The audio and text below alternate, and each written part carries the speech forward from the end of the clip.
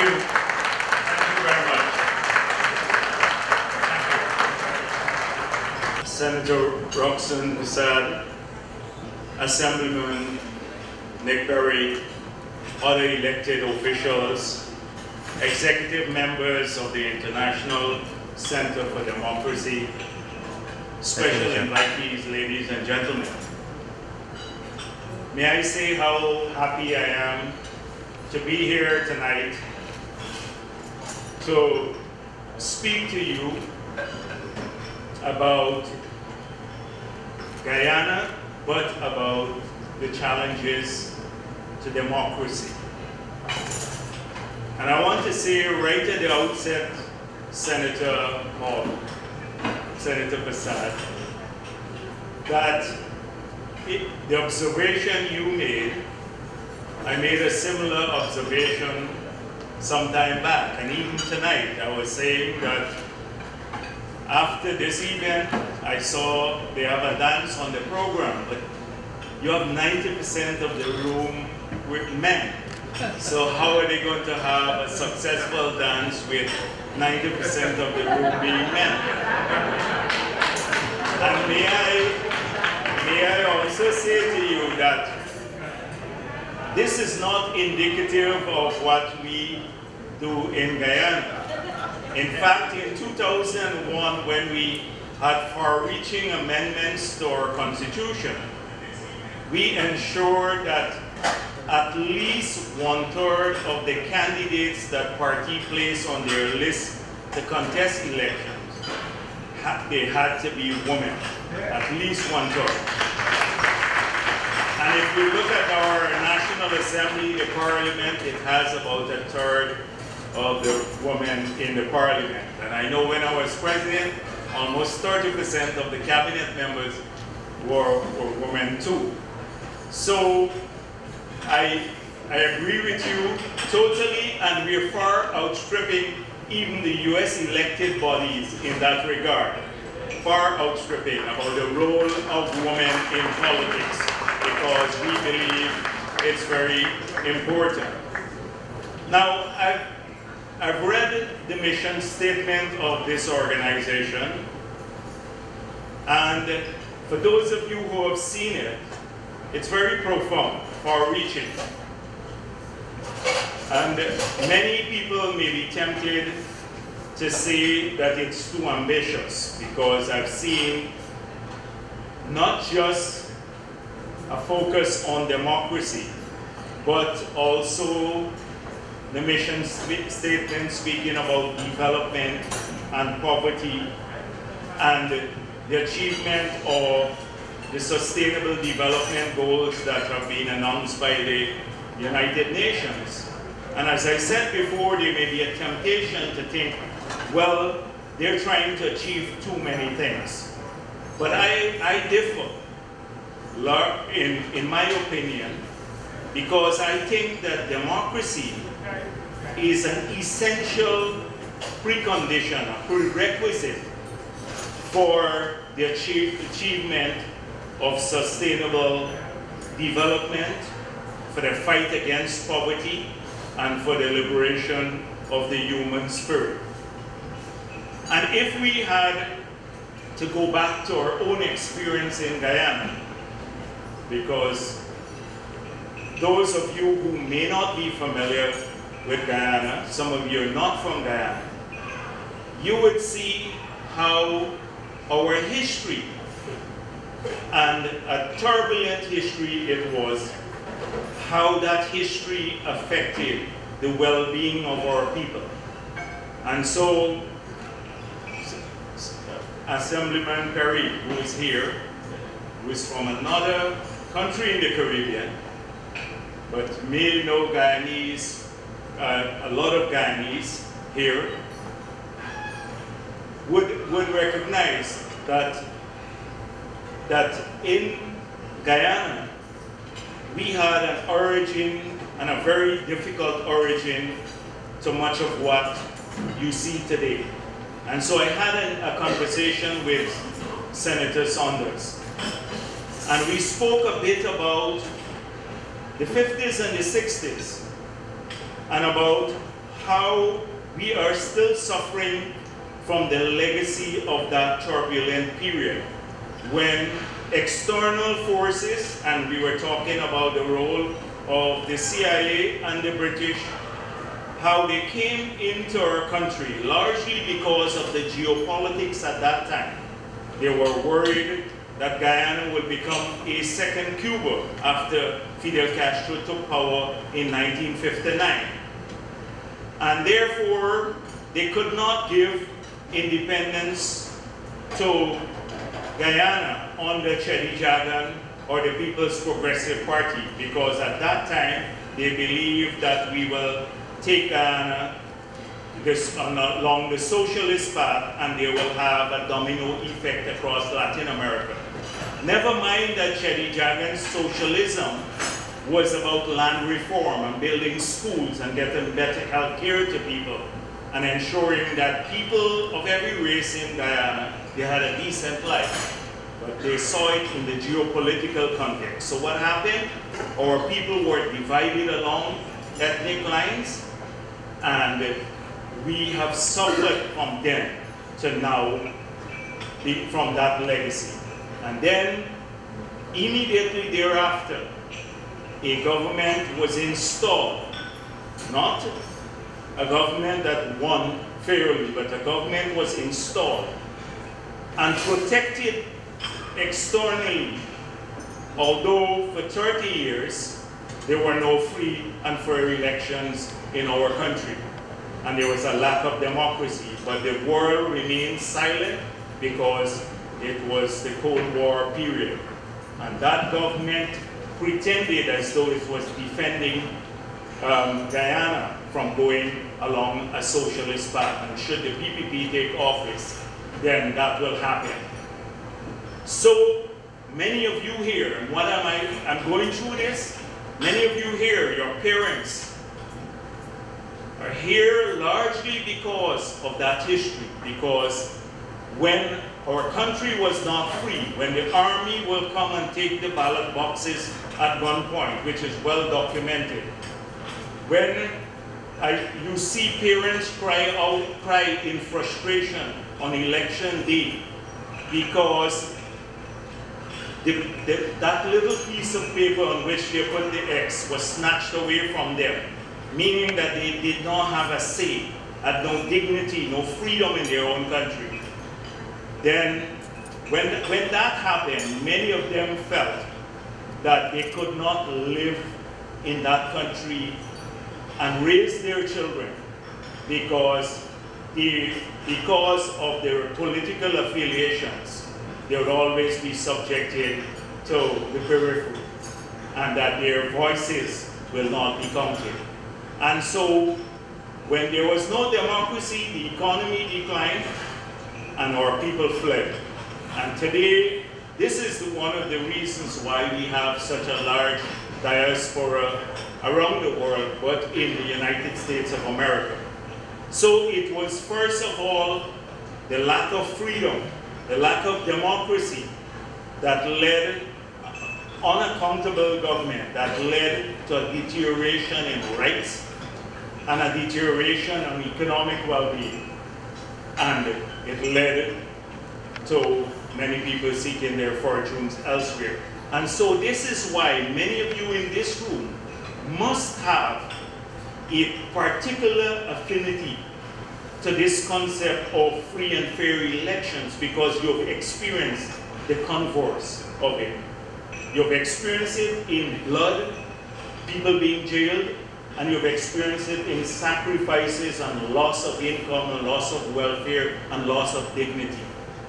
And so when I walk around this room and I see people here, I know why they feel so passionate about this issue.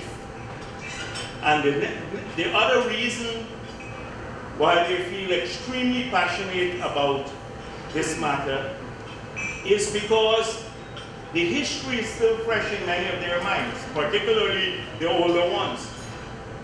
That history is still fresh in their minds. President Carter, writing in his book recently, Beyond the White House, had this to say about Guyana in 1992. He said, the most personal danger I have felt since leaving the White House was in Guyana in 1992.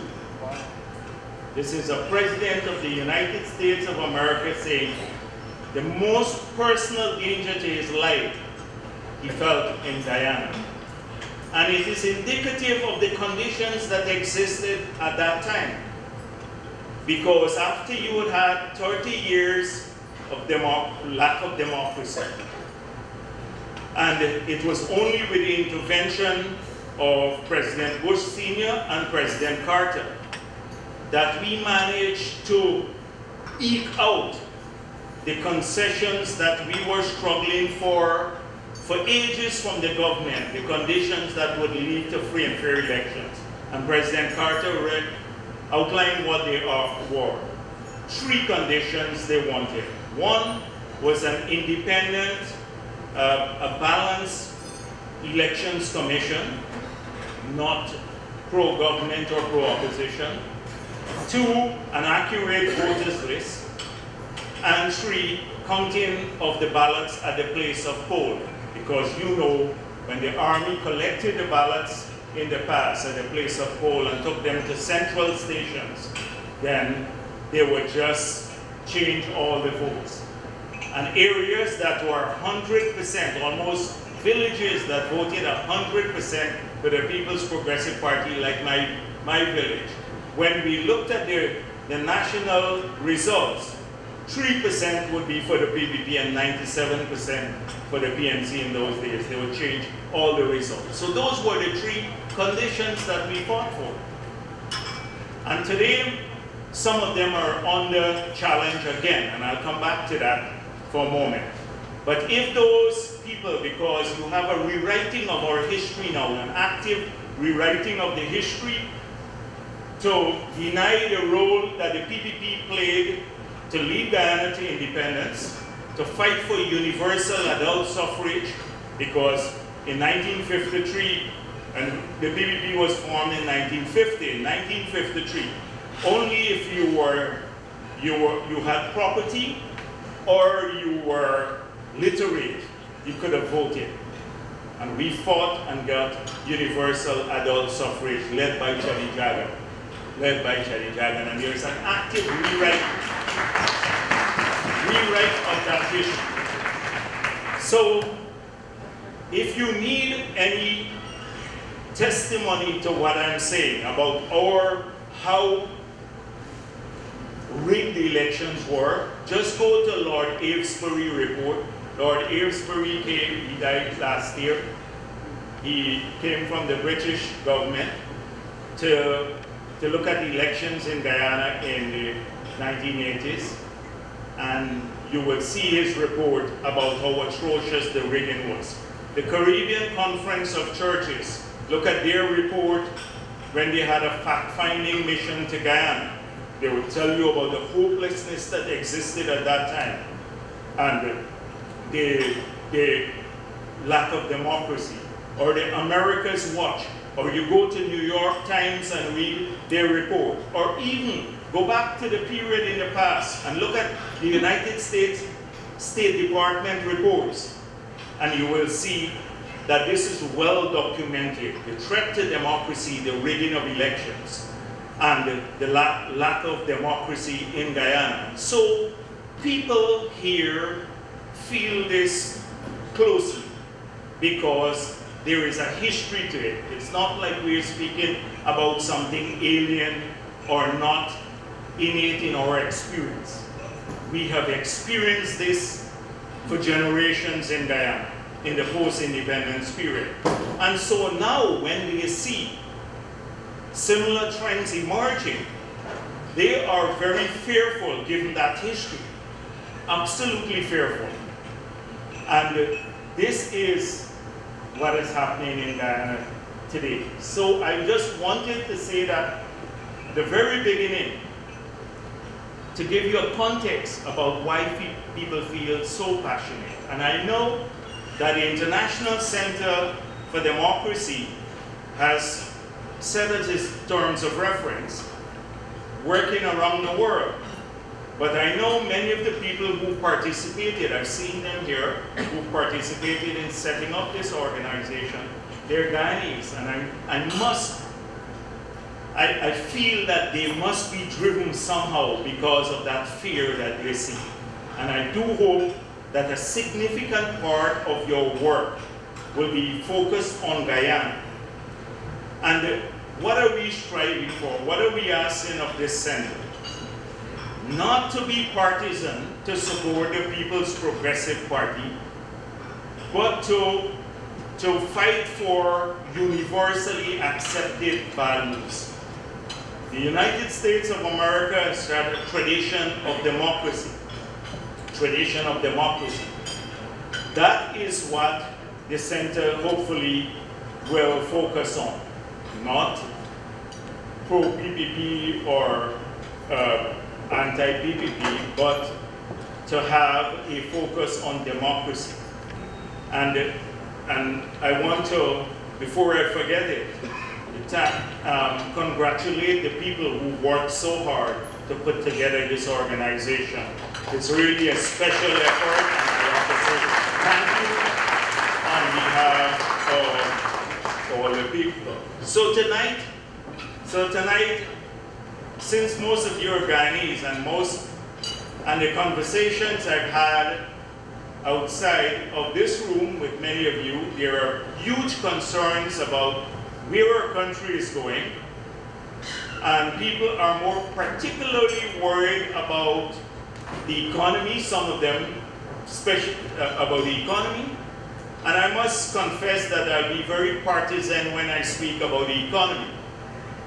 But there are two issues that I want to speak of before I, I do uh, I speak about the economy and where our country is going generally.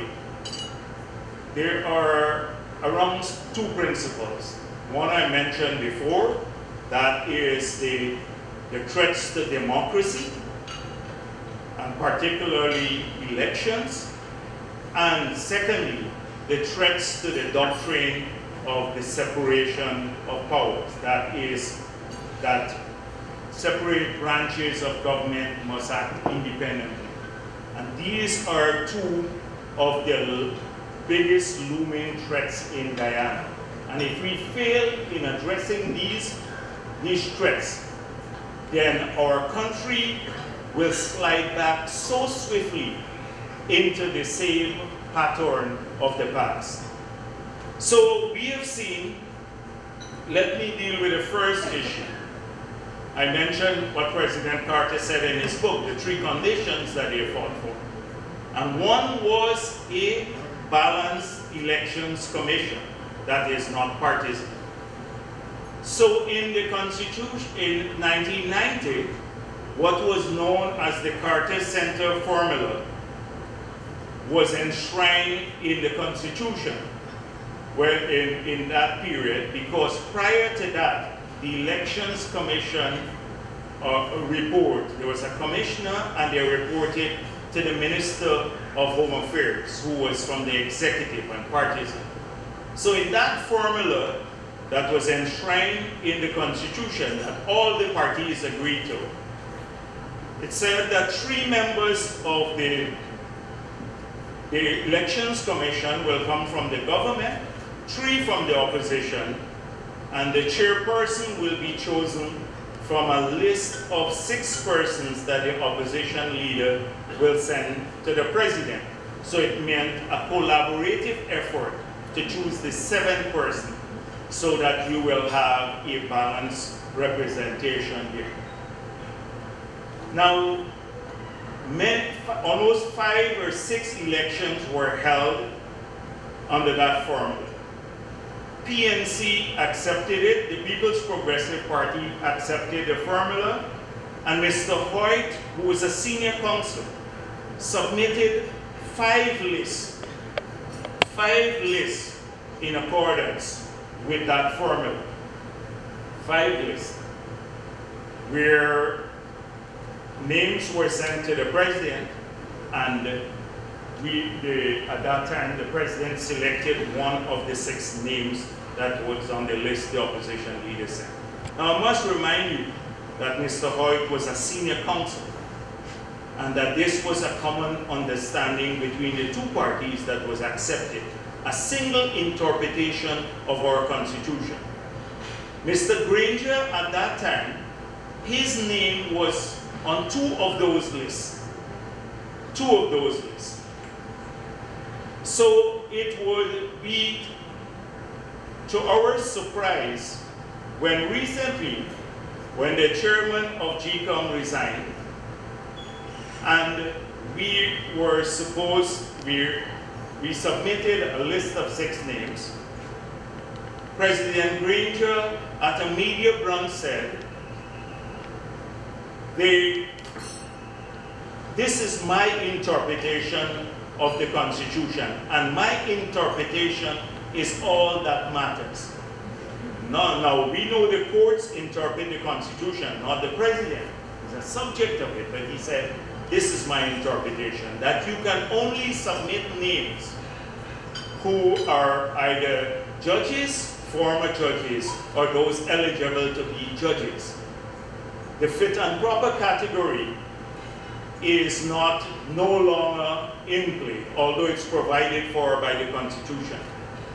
We pointed out that almost every single commissioner, Rudy Collins, Hopkinson, Joe Singh, uh, Rudy Collins was a public servant, and he was a chairman at one time. Hopkinson was a miner, and he was a chairman. Joe Singh was once the head of the army, and he became chairman. Surujbally is a vet.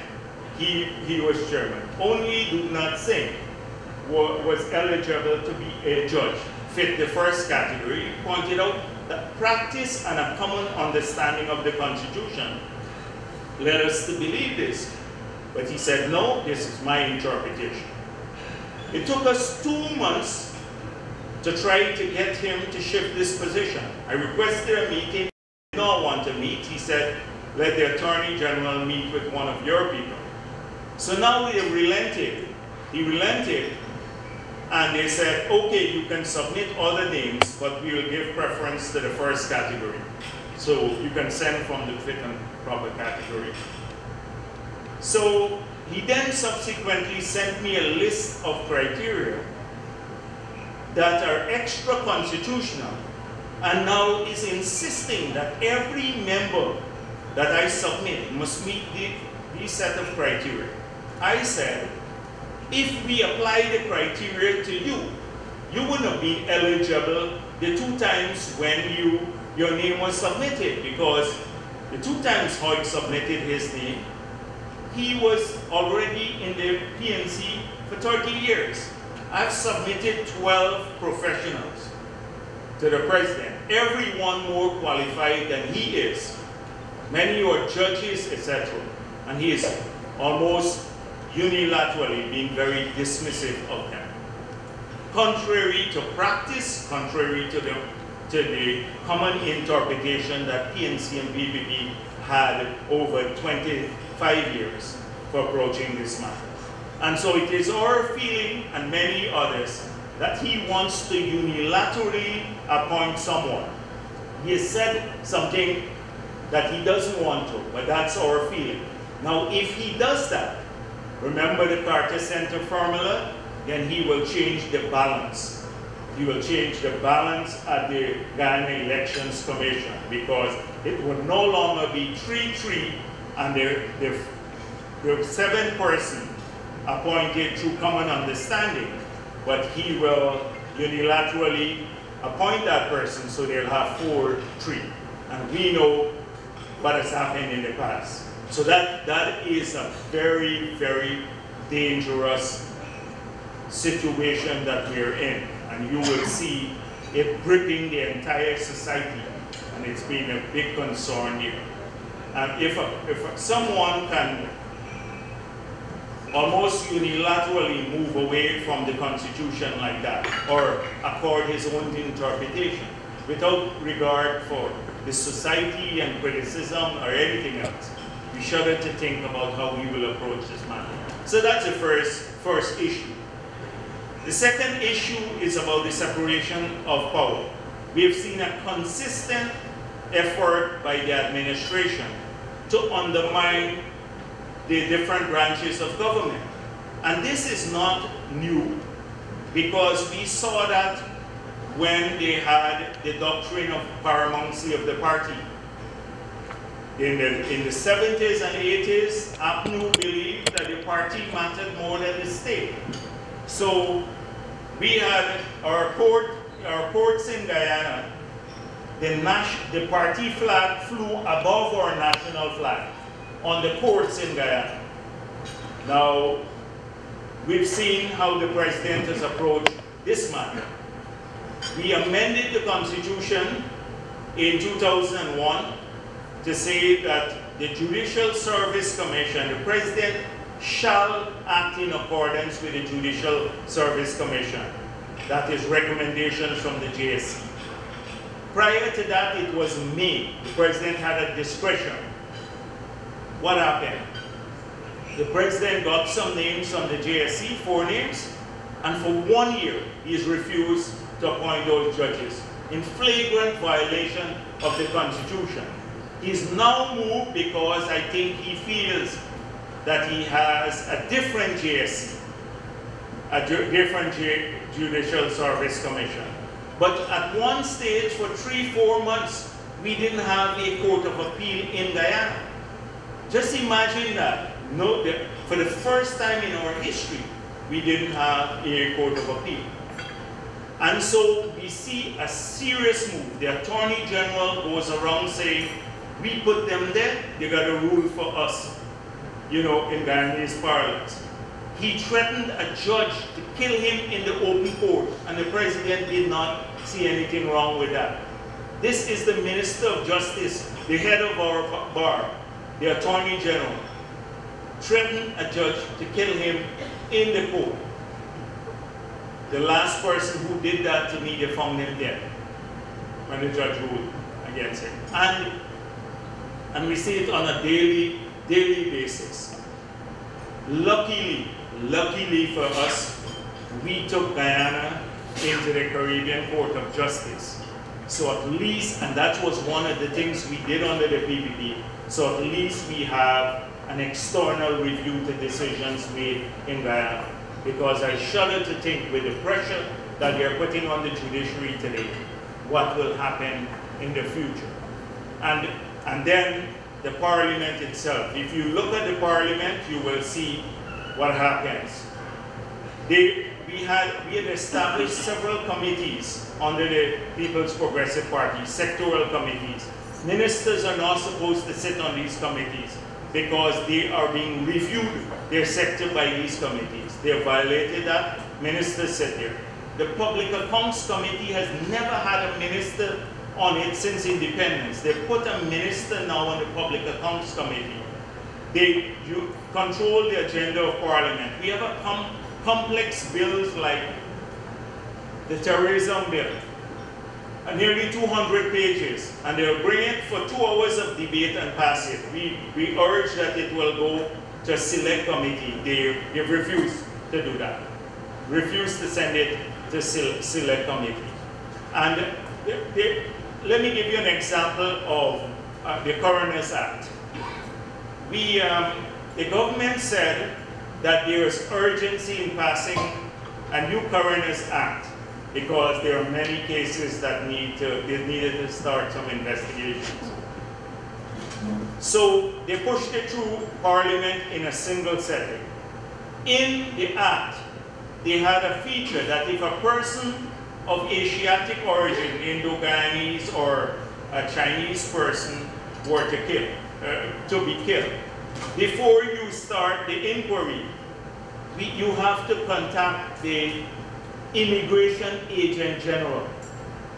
So now that is a feature of the colonial era. We don't have an immigration agent general anymore. That a hundred years ago we had that. So we said, let us take this bill to select committee for one day. And we will change that because it's not reflective of Guyana today. It's a feature of the colonial era. They decided to pass it with that in place. So if anybody gets killed in Guyana today, you got to go and hunt an immigration agent general that was from the period of indentureship to, to inform them before you start the inquiry. It's just rushing through things through Parliament, the Parliament doesn't meet. And so we see major attempts of the executive to control not just the agenda of the legislature, but to truncate debate and to change much of what we had done, the spirit of the constitutional reforms that we had put in place. And so it is these two issues that bother us tremendously. Because as you know, we had the most far-reaching constitutional change, I would say anywhere in the Western Hemisphere in 2001. In those, in, in that period, recognizing the complexity of our society, we, passed, we put enshrined in the new constitution five commissions. These commissions, to sit on one of them, you have to have two-thirds support from the National Assembly. It meant bipartisan support. What are these commissions? We call them the Rights Commission. No country in this hemisphere has those commissions. One for gender, because we recognize the vulnerable groups who are women, one for indigenous people, children, human rights, and ethnic relations. Given the complex nature of our society, we felt that we had to have these commissions in place and approach them in a bipartisan manner. They are now, they are almost truncating all these commissions. The Ethnic Relations Commission is not functioning, so they're replacing a constitutional commission now by an executive action setting up a ministry to do social cohesion. But the budget, the huge budget for social cohesion in that ministry is used in a partisan manner, more divisive among our people than bringing them together. So those were those are being eroded, the constitutional things. I mentioned the four sectoral committees. We didn't have those in our constitution. In 2001, we put them in place because we believe that the government must be accountable and ministers must go to these bodies to account for their stewardship and their sectors. So what we, what we did, we had the majority at that time. We could have taken chairmanship of every one of those four. One is on natural resources, the other on economic services, one on social services, and the other one on foreign affairs, covering the gamut of government. And what we decided to share it. They will share two, you'll share two, and we rotate the chairmanship. I mentioned how that's being eroded. The management of parliament, before that, the constitutional change, the executive used to control parliamentary agenda totally. We then did where both sides had equal numbers and the speaker chaired it. We reduced the powers of the service commissions, the judicial, police, teaching service, and the, the public service commissions in an attempt to, to have a more inclusive society given the nature. I can go on and tell you about all the changes to the Constitution that we made in 2001 because we recognized that our society had needed these complex ways of, of moving forward. And so today, all of those features that we put in place to safeguard people and their rights are being eroded. And that is why there is a big worry about it. Because if that happens, if you control the courts, like recently, a private individual sued the government because the government awarded a contract for 6 million US dollars above the second rank tender. It is a contract for the award of the meters for GPL, the power company, the, the meters. And so this company sued the government. The judge the, the judge gave them a month to, to call, adjourn the case for a month. And then, to our surprise, the Attorney General approached the judge, and then the matter was heard within days, and there was a ruling in favor of the state. They argued, well, the state can't wait. So if you have a decision, now if I'm a private individual or we in the opposition, if we try to get an early date for any issue, you, you can't get it. But the state now can influence the judiciary to give an early date. So there's no fairness anymore. We've been waiting for two years so far to have our elections petition heard. Although in, in our law, it says it must be heard continuously and urgently, because it's an elections petition. And we can't get an early date for that, because they file a lot of interlocutory matters.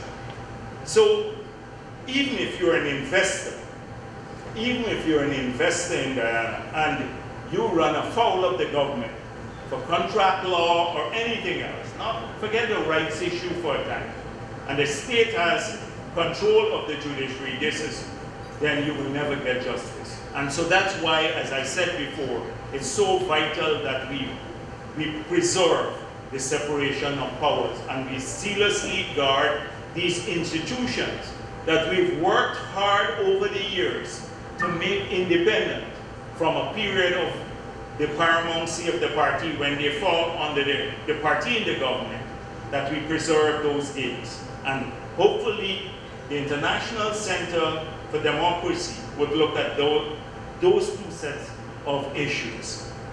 The, on the economy, and uh, maybe I just say a few words about this, our philosophy differ significantly, significantly. We, every single major investment that came in Guyana including ExxonMobil, came under the People's Progressive Party. Oil was found by ExxonMobil under the People's Progressive Party. The economy has flatlined. There are two sectors, two companies that are producing large quantities of gold now that have kept the growth rate positive, and both came under the PPP. Not a single major investment from abroad. And if you talk to any businessman in Guyana, if you do it, an informal survey, any businessman, you, they're not investing. They're not going to invest because they feel insecure about their capital. Capricious rates, capricious statements from the tax authorities, politically, the tax authorities have been politicized.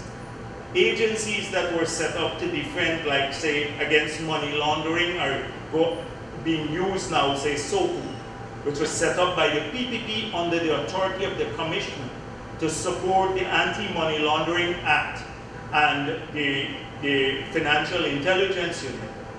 Now they report no longer to the Commissioner of Police, but directly to the Office of the President. And their list no longer, they don't go after drug dealers anymore or money launderers. We have not had a single case of that in years. They've gone after political opponents. And people, particularly business, the business community, shaking them down. And so in that whole atmosphere, you're not going to have a change in the situation. Already the economy is in doldrums, and the only way effects of oil and a nuanced understanding of how oil proceeds can be integrated into an economy without damaging it fundamentally as has happened in so many parts of the world. Venezuela, 3 million barrels of oil exported per day, but food shortages. Look at many other countries, Nigeria, and eh, many other parts of the world. Poverty, Trinidad and Tobago now. You go to Trinidad and Tobago, and you go to Laventille, and although we don't have oil, we don't have the sort of extreme poverty that you see witness in those areas. And oil can only exacerbate that. And the Dutch disease, the, the change in relative prices will kill all the other sectors if they're not already killed by this capricious, almost uninformed government action to some of the major sectors of the economy. So we've been arguing, we're saying, have a nuanced understanding of oil. First of all, Oil may, may bring large amount of wealth in the future, or it may bring very little. Look at 2040, the oil price per barrel, $130 nearly. By the time mid-2050, it fell to $28 a barrel. It's gone up now to about $50 a barrel. such a precipitous drop. If oil is falls into the $20 a barrel, then ExxonMobil may not even be able to pump the oil. So oil proceeds are very volatile. The markets move on all sorts of things, not necessarily just supply and demand. There are a whole range of things that can move the market. And we're saying if you if you kill the labor-intensive sectors, rice, sugar, mining, and, and forestry, construction, retail trade, where large numbers of people are being employed, and try to replace it by only a capital-intensive industry like oil and gas. As ExxonMobil said, they will spend probably $5 billion over the next few years, but you'll have 300 jobs. You'll have 300 jobs. So where are you going to keep get the employment for these people? And that is why we have to make sure that the rest of the economy is healthy and integrate oil proceeds in a manner that does not destroy the rest of the economy. And you know, the Norwegian model that we spoke about separate. But this government already promising people free gas, a check in everybody, you don't have to work in, in the future, you know. And what about the years when you don't get oil money? What about the years when you don't get oil money? So this, their whole philosophy on economic matters, which I, I would not deal with too much here, um, the whole philosophy is one that we don't subscribe to. Um, spending wantonly on things that don't add create greater welfare for people or lend to the productive capacity. Wanton spending, wasteful spending. Then taxing heavily to support those the spending and borrowing phenomenally. The IMF has said the, the, the um, debt to GDP ratio will go from 50%, and we brought it down from 913% in 1992 to 50% by the time we left. We'll go up back to 19%, um, to 60% of GDP by 2019. This is the sort of approach. So spend wantonly, tax people, and borrow, borrow enormously. And that is precisely the path that Burnham followed that led to our country being, and when we left office, according to Carl Greenidge himself, that we were spending 153% of revenue to pay debts. 153% of revenues to pay debt. That's what the PPP took over, and we should never forget that. By the time we left office, we were spending 4% of revenue, down from 153% to pay debts we restored a bankrupt country to economic viability. That's what we did. And so, our philosophy is different. But let me come back. I see the, again, the, the mission statement of the International Center for Democracy speaks about green issues. I can tell you about the approach to green issue how we were earning money by the sale of forest carbon. It was an economic strategy. For this government, the green strategy is about planting trees. It's not about planting tree, trees. It's a replacement of an old polluting model that ensures prosperity for a country by one that maintains the path to prosperity, but does it in a manner that is more environmentally friendly. That is what we're trying to get over. They've killed the hydropower, saying it was corrupt. And a lot of the things that they were talking about the corruption, now they have had two years in government, 50 audits. We keep saying to them, lock up the people who you find corrupt. But they said that. Then Norway just came out with a study and said the only way forward to achieve our target is to build the same Amaila Falls that they killed. By this year, 2017, that hydropower would have been producing power that would have led to 50% cut nearly in the price of power. Not a single cent of debt on the treasury because it was a 750 million US private investment that would have added two percentage points to GDP. That was, that was what Amaila would have done, would have made a big difference to our manufacturing sectors, etc. So a lot of these things are economic issues. They, the, the reason I don't want to focus on that, that too much is we will fight that battle in Guyana. We'll fight it because every country has economic issues and differences of views. And people are assessing our views and theirs in Guyana.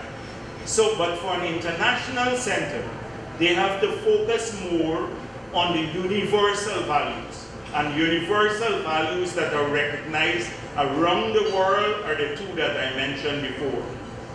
Free democracy, democracy, and secondly, the doctrine of the separation of power, vital for the future. And so I, I hope that we will see an enormous amount of work being done in this area, and all of you can help. If we stay silent on this matter, then we will deserve the type of country our country will become. And many of you still have a great interest in that country. You all can make a difference. Every single one of you in this room can make a difference. Please get involved. You know, some may be able to help these guys financially, but others with just their time and effort. And meeting people and talking to them and lobbying. You know, we have a lot of elected leaders who here, here in the United States of America who share concerns, not take, we're not asking them to take sides, as I said before, but who share concerns about erosion of democracy. Please use your influence to lobby them so that they pay attention to what's happening so that we don't go back to that horrible, turbulent past that caused so many of our people grief, you know, all sorts of grief. And so I want to urge you to support the center. I want to thank the members again for inviting me here and to congratulate them on the appointment. Thank you very much.